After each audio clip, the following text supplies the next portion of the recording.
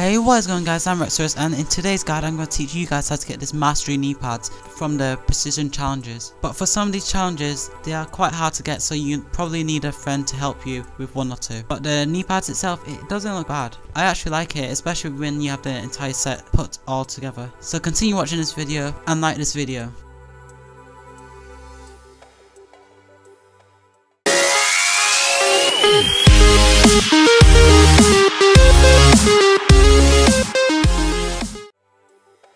So the first challenge is called Headhunter and you have to get a total of 5 headshot medals with an assault rifle in a match. The assault rifles I'd recommend is the AK-12, the Bal 27 and the Hbarry 3870 mainly because these weapons are fully automatic and it's just easy to get headshots with fully automatic weapons. You can use the IMAR to get headshots with because it's really accurate especially when you aim it at an enemy's head. If you have an elite variant like the Ball Strike I recommend you using it for this challenge just to make things easier. But for the challenge challenge, just aim at the head and shoot the enemy. So the time limit for this challenge is 10 minutes, which is during a match. So the very next challenge is sharpshooting. You have to get 10 one-shot medals with a sniper rifle in a game. So the playlist I recommend you playing on is the one-shot playlist because everyone is everyone gets a sniper rifle to play during a match, and it'll make things much more easier and fair and you won't be dying every second by the ASM1 so play the one shot game mode and choose any sniper rifle you are comfortable with. And you'll know when you're doing this um, this challenge right? When you receive the one shot medal you can only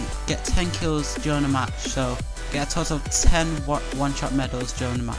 So the very next challenge is called Danger Close and with the wildcard EXO Bombardier and 2 lethals you have to get a total of 5 kills with the lethals during the match. So for this challenge you can use any lethals as you want. I recommend using a lethal that um, can kill like the Semtex, the Cooking Frag or the Spike Drone but for, if I was you I'd pick the Spike Drone and uh, the Semtex. And don't forget to equip the Danger Close perk just increase your explosive power. You have all match to do this challenge so I recommend playing a hardpoint or, or domination where the enemies are focused on the objective rather than trying to get kills. Once they are capturing the objective you have the chance to throw your lethal grenades and stuff. And don't forget to equip the fast hands perk just to make the EXO launcher shoot faster which has helped with this challenge a lot. So the next challenge is called Say Hello and you have to get a triple kill medal from shooting from the hips with a heavy weapon or a SMG. I recommend using the ASM1 with extended mags and the laser the laser sight. The ASM1 has great damage but you have to be in short range to do this challenge. I recommend playing Domination because enemies often capture flags there and if you can find 3 enemies at the Domination flag, you can hip fire with the ASM1. Hip fire is when you're using the weapon to shoot without aiming down sight. So the next challenge is called Close Quarters Expert and you get killed with a single round from this shotgun 10 times in a game. So the shotgun I recommend is using the TAC-19 because it has high damage, especially when you aim down sight. The attachments I recommend use, use on this weapon is the Quick Draw Grip 2, aim down faster and the Advanced Rifling 2 so you can do more damage at longer ranges. So what you want to do for the challenge is when you spawn enemy, aim down sight, you have to be in close range shoot shoot the weapon and you should be able to get the kill. You have to do this a total of 10 times during the map and you should earn this one. The next challenge is called Tick Tick Boom and you have to get a total of 5 sticky medals in a game. So if you throw Semtex onto an enemy you should be able to get a stick medal. So for this challenge equip the Semtex and use the EXO, Bombardier wildcard to equip another lethal. I chose the EMP grenade because you, you want the enemies to be on the floor at all times when you're doing this challenge. So just throw the EMP grenade at the enemy and ho hopefully you'll be able to aim at the enemy and throw the Semtex at them. So for this challenge you might want to catch an enemy off guard so you can have the chance to aim at the enemy and throw the Semtex at them. You can use the fast hands perk to use EXO launcher faster and just stick the Semtex onto the enemy. So the next hand challenge is called Protected Kill and with a flak jacket survive an explosive drone and kill the owning player. Finding an explosive drone during a match is almost impossible since no one uses it and the explosive drone itself is quite pointless especially since everyone has a perk. Mostly uses a perk to encounter it or they are often in the air. Also, the explosive drone itself is quite weak and doesn't do much damage. So this challenge, let your friend join the enemy team and you'll need to equip the flak jacket perk. And make sure your friend has the explosive drone. Agree to meet up at a specific place And once you arrive there, have your friend lay down an explosive drone and you with the flak jacket, you have to shoot the explosive drone to destroy it and you have to be within the range of the damage because the challenge states that you have to survive an explosive drone. Then next you kill your friend. You only have to do this once so you can take turns doing this. So the next, very next challenge is called Close Call and you have to survive in it counter with a Goliath by stunning it, it with an EMP. If you want to do this challenge really fast, you have to equip the EMP score streak, I mean the Goliath score streak. Give it, give it to an enemy. Just leave it in their spawn and just hide until an enemy enters the Goliath. The, chan the chances are very high they will enter it. So make, get your EMP ready. Once they enter the Goliath, just don't just throw the EMP at them. Double tap X if you want to manually detonate it, and they should be stunned for a few uh, few seconds, hopefully, as long as they are in radius with the EMP. But make sure you have a backup EMP just in case the first one fails. And that's all there is to it. So the next challenge is called Surprise Package and you have to get a total of 5 kills using the care package with the trap attachment on it. So just equip the trap attachment on the care package and you have to earn this in game. You can use hardline to make this, to take off 100 points off the score streak to make this easier to get. You can use the drone delivery to block doorways with it just so the enemies can resort to opening the care package. And you can also leave it in the enemy spawn so they will pick it up. This challenge can be done in any amount of matches so it doesn't have to be in one life.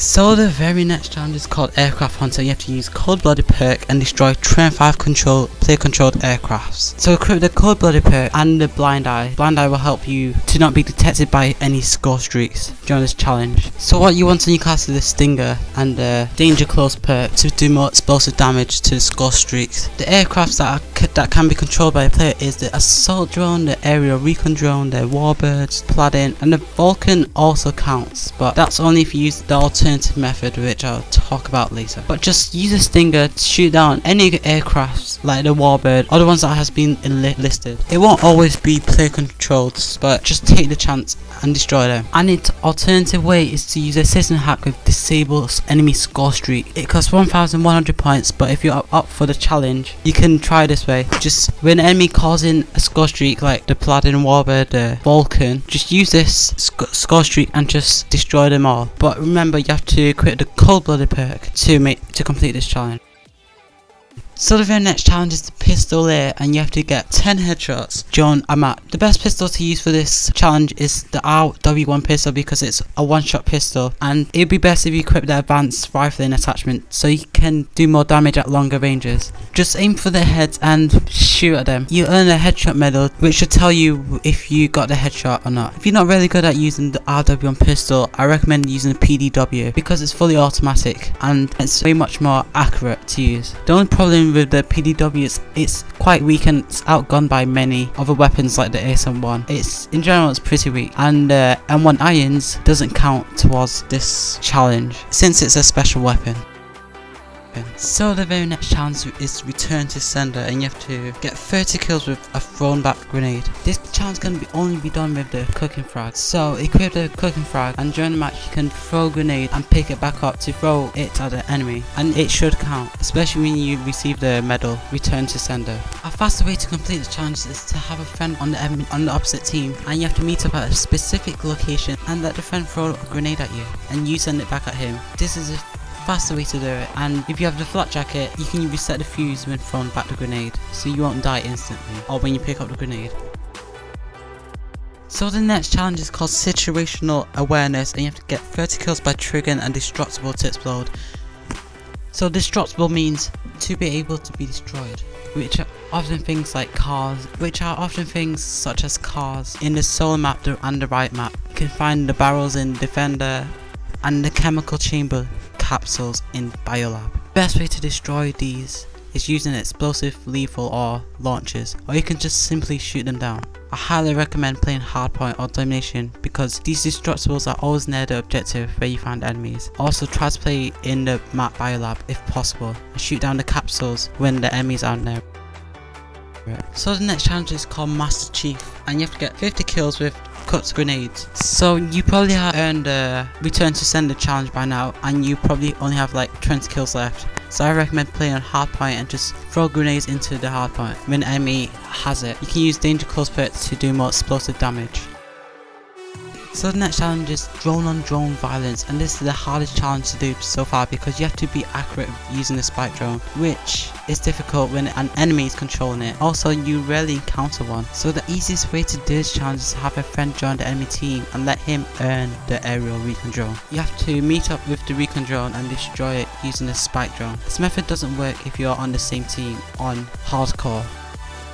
So the next challenge is called Movie Star and you have to get featured in 30 final kill cams. To complete this challenge you have to be in the kill cam. You have to be the guy in the kill cam who's getting the kill as you can see your own play card showing up on the screen in the final kill cam. Doesn't count if you're the one who's on the receiving end. The challenge doesn't state that round ending kill cams counts. So they have to be the final kill cam which can only be earned if you're on the winning team and you got the last kill. So just try and stay alive for the last few seconds and find an enemy to kill during that time and you have to get a total of 30. So the next challenge called high value targets and kill enemy with the highest score on the opposing team 100 times. So just for this match, just for this challenge, just play the game normally because you can't really ad identify the player who's at top of the leaderboard on the opposing team. You can't personally find him, so just play the game as normal and try and get as many kills as you can you'll eventually stumble upon the person with the with the highest score on the um, opposing team. So just play the game as normal and you should earn it. So the next challenge is called Farsighted and get three long shot medals in one life. I, I would recommend using the sniper, but only if you're on maps like Instinct. But other than that, I recommend using the assault assault rifles on any other maps to, to get long shots. So one good map of getting long shots is is Solar, mainly in the middle of the map. This challenge has to be done in one life, so try not to die and use assault rifles like the IMR the Bal 27 or the HBRA 3. SMGs and other weapons will work well for this challenge since it has to be long, sh long shots. Can't really help you on this challenge but I can give you tips such as using the red dot sight so you can aim properly and using the using other attachments such as advanced rifling to do more damage at longer ranges and having foregrip so you can be more accurate. So the next challenge is called Wet Work and you have to earn a Merciless Medal using a class with no grenades or exo abilities. So score streaks do count towards the Merciless Medal. So I highly recommend using a care package with support on it so you can earn high score streaks, especially deadly ones like the assault drone with rockets and AI control stuff like that. You can also join other players' um, score streaks to get kills with or even, or even Goliath. But the best way to do this is play a game like Domination where you can capture a flag, get a few kills, earn score streaks, to, um, earn score streaks like UAV and System Hack to build up your points towards a high score streak like assault drone with rockets on and hood. And once you get kills with that, you should be able to earn a merciless medal and don't equip any grenades or exo abilities. So the very next challenge calls the Situation Critical and you have to earn a triple kill medal while severely damaged. So that means when you taken damage and your screen has turned red. You could get a triple kill, then once the triple kill medal is still displaying on your screen, you can take damage and you earn you will still earn this situation critical but but I recommend using weapons like ASM1 I recommend using SMGs and assault rifles with extended mags on it just to increase your chances of getting a triple kill. You most likely have to enter enemy spawn or, or their domination flag just to find three enemies at once. This ch challenge is something quite rare to get and there are no other way other methods of making it easier unless you have like three friends on opposite team allowing you to kill them all at the same time meanwhile taking some damage. So next challenge is called Clean House and you have to kill every player on the enemy team at least once, minimum of 4 players. So this can be done in any game mode or any match. You just have to get at least one kill on the enemy team at least once and it doesn't have to be in one life, it can be during the entire match. So this is quite easy for anyone to do at all. Last but not least is Slice and Dice and you get 15 kills with the combat knife or spike drone in a ma match. The combat knife is just a regular knife you can find on a class with no weapons at all, or just a or just a class with a primary weapon and no secondary weapon. But I recommend you creating a class just just for this purpose and playing a match where people aren't really focused on getting kills and playing the but rather playing the objective. Use use perks like lightweight where you can move faster, overclocked so you can move faster as well, and low profile so you can stay off the radar, and blind eye so you can't be seen by the enemy score streak. But once you complete all these challenges, and hopefully you will, in total there are 23 challenges and it's quite hard to get some of these challenges, especially the situation critical. It's not something that you can force to do. But yeah, this is the fifth piece of the set and I'm almost done with it. So far it looks, looks way much better than I imagined it would be. But thank you for watching. Don't forget to share this video and comment, comment below which is your favourite part of the set so far. So like this video, peace guys.